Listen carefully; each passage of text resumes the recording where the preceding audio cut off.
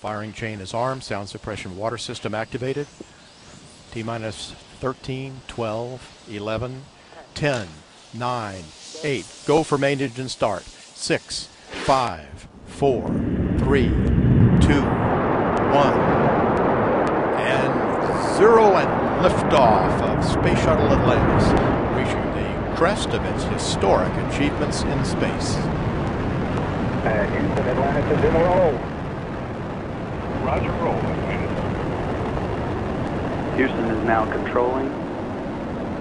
The roll maneuver is complete. Atlantis is in a heads down position on course for a 51.6 degree, 136 by 36 statute mile orbit.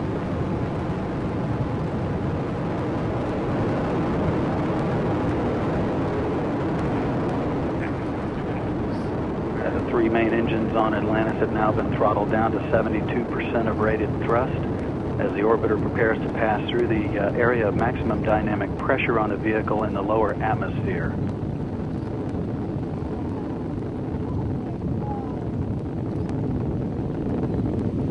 The engine's now beginning to throttle back up. Atlantis, you are go at throttle up. Copy, go, uh, throttle up.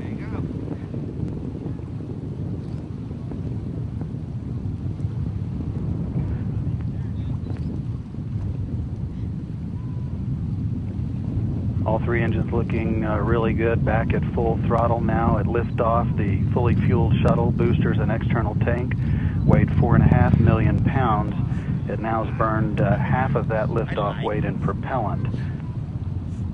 One minute, 30 seconds into the flight, all three auxiliary power units that provide hydraulic power to the orbiter's systems in good shape, as are the fuel cells providing uh, electricity to all of the systems on board. Atlantis is already 19 miles in altitude, downrange from the Kennedy Space Center, 20 miles, traveling 2,500 miles per hour.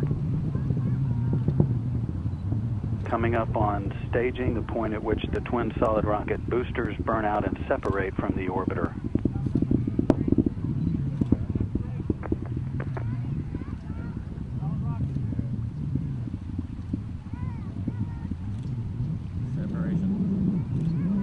Booster separation confirmed.